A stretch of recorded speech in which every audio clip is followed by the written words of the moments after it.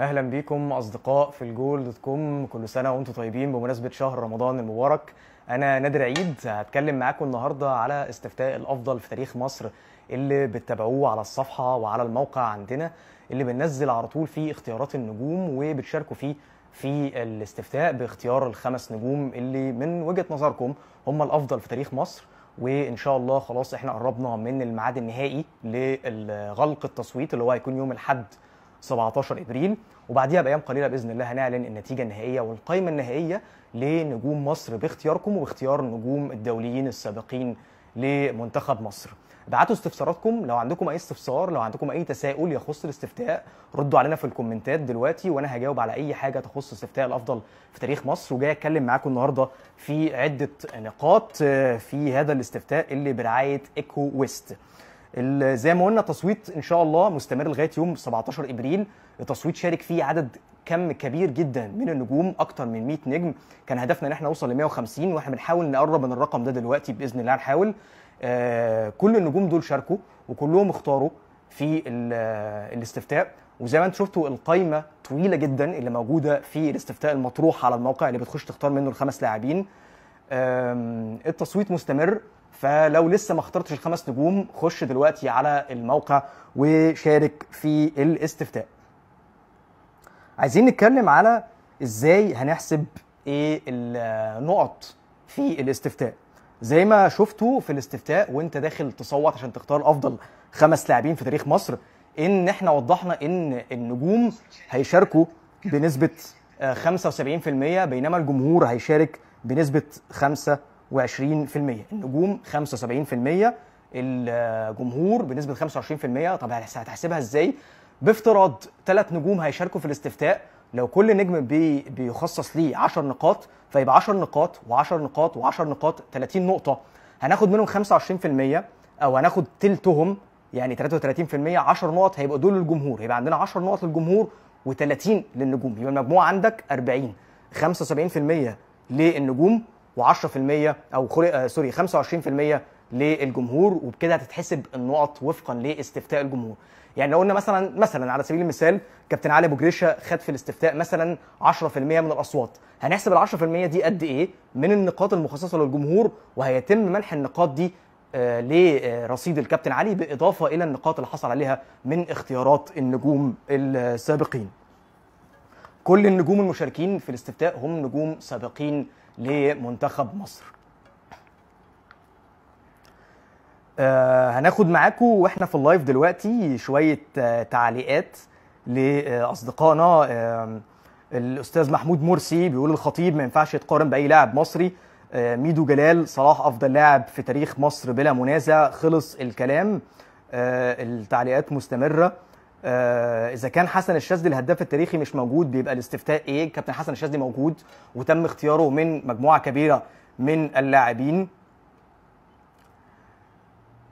آه ابعتوا أسئلتكم ابعتوا استفساراتكم عشان نجاوب عليها كلها إن شاء الله في ال live اللي مستمر معاكم برعاية إيكويست فيما يخص استفتاء الأفضل في آه تاريخ مصر. طيب ممكن حد يسأل ليه اخترتوا النجوم دول تحديدا عشان يكونوا موجودين في الاستفتاء؟ هم اللي بتختار منهم. النجوم تم اختيارهم بناء على اختيارات النجوم الدوليين السابقين. بمعنى النجوم الدوليين اختاروا مجموعة من اللاعبين. مجموعة من اللاعبين دول هم دول اللي طرحناهم في الاستفتاء. ما اخترناش من عندنا ما اخترناش أي لاعب بمزاجنا ولكن اللي حدد القائمه دي هم النجوم الدوليين السابقين. ال 38 لاعب الموجودين في الاستفتاء اللي حددهم أو اللي اختارهم هم النجوم الدوليين السابقين فهم دول اللي موجودين موجودين في الاستفتاء دلوقتي. طيب سؤال ليه كل نجم بيختار خمسة بس؟ ممكن يكون رقم خمسة يمكن قليل شوية على نجوم كتيرة جدا في تاريخ كرة القدم المصرية. طبعا خمسة هو الرقم الأوقع، في استفتاءات أكتر من كده أو أكبر من كده النجوم بيختاروا فيها أو المسؤولين بيختاروا فيها ثلاث لاعبين أو لاعب واحد زي مثلا جائزة فيفا.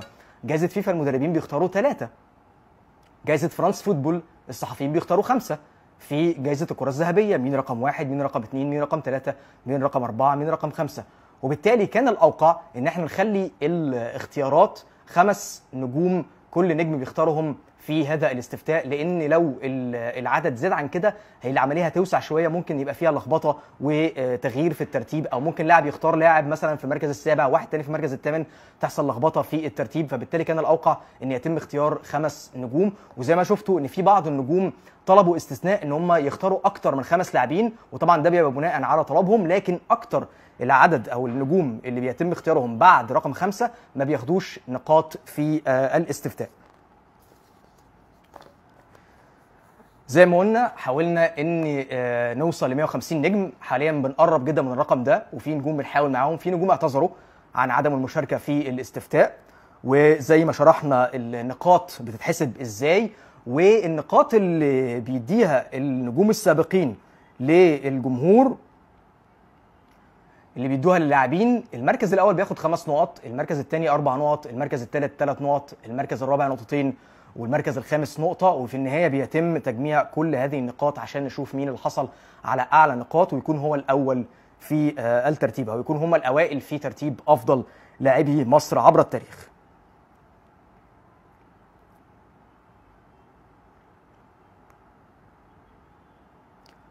آه، تعليق من أسامة إبراهيم. صلاح أفضل لاعب في تاريخ مصر ومقارنته مع لاعب آخر ظلم. آه، ممكن تخش تدلي بصوتك يا أسامة في الاستفتاء وتختار صلاح مع أربع لاعبين.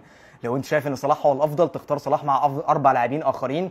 آه، أنت شايف إن هم يستحقوا لقب الأفضل في تاريخ مصر. طيب ممكن حد يسأل ليه قررتوا إن أنتوا تخلوا نسبة النجوم 75% ونسبة الجمهور 25% دي زي النسبة اللي بيخصصها الاتحاد الدولي لكرة القدم فيفا في استفتاء أو في آه، جايزة الأفضل اللي حصل عليها في السنة اللي فاتت روبرت ليفاندوفسكي نجم بولندا وبايرن ميونخ. 75% بتبقى مخصصة للمدربين والقادة قادة المنتخبات و panel of experts أو لجنة الخبراء التابعة لفيفا و25% للجمهور. وبالتالي إحنا سرنا على نفس النهج ده وخصصنا 75% للنجوم الدوليين السابقين و25% للجمهور. عايز أقول لكم برضو آه، بعض المراكز دلوقتي لبعض النجوم آه، السابقين في الاستفتاء. في الأستاذ محمد رجب آه، بيعلق أبو تريكة كابتن أكتر لاعب مؤثر في الكرة المصرية.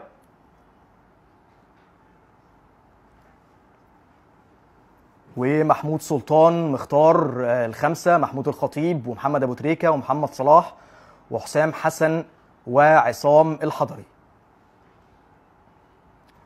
ناخد تعليقات تانية. محمد جمال بيقول محمد أبو تريكة هو الأفضل. طيب آه الاستفتاء زي ما حضراتكم شفتم في عدد كبير من اللاعبين. عايز أستعرض معاكم بعض المراكز لبعض النجوم الموجودة في الاستفتاء دلوقتي.